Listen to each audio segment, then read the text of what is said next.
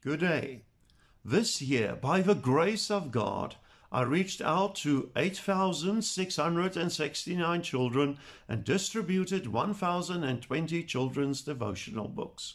Praise God for the seed that was sown. May it grow a hundredfold in His time. So, all in all, we had this past year 9,089 contacts. But some of you may be asking yourself, does it make any difference? Seeing that I'm dealing with children and not with adults. This is also a question I ask myself.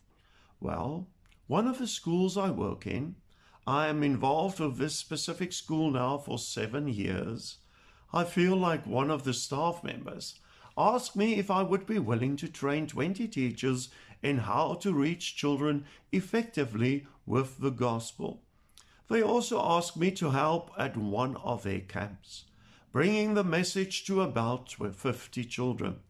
It was such an encouragement to be asked because then I realized the work, the proclamation of the good news in this specific school must make a difference in the children's lives.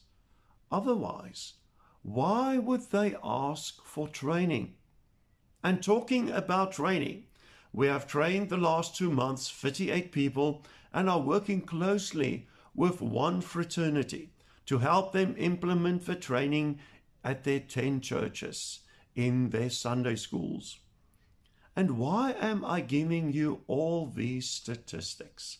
Because without your prayer and financial support, these ministries will not be happening.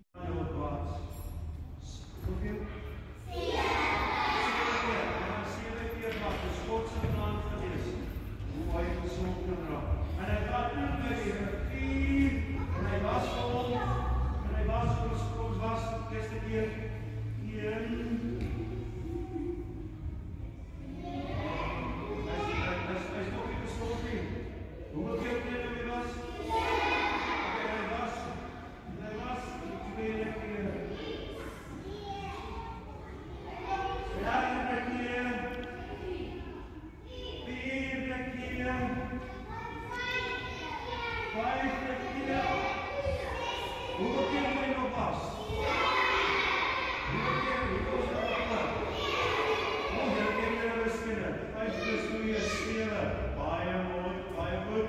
Sy sê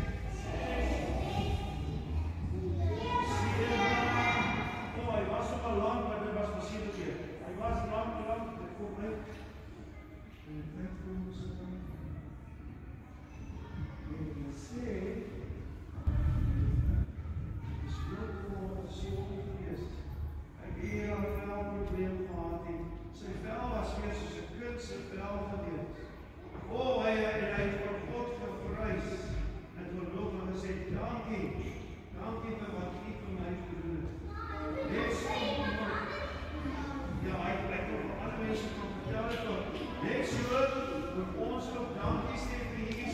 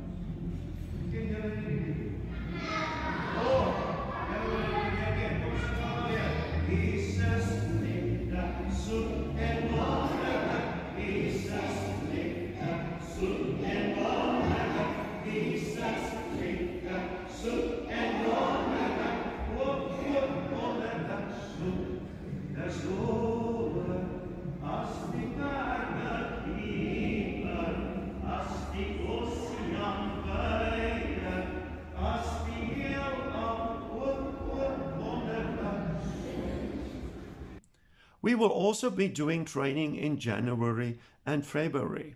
And I also met a pastor who is the chairman of 76 churches in the Southern Cape.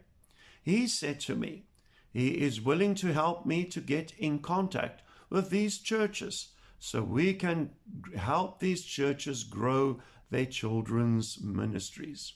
So exciting times are lying ahead to see what God will do here in the Southern Cape.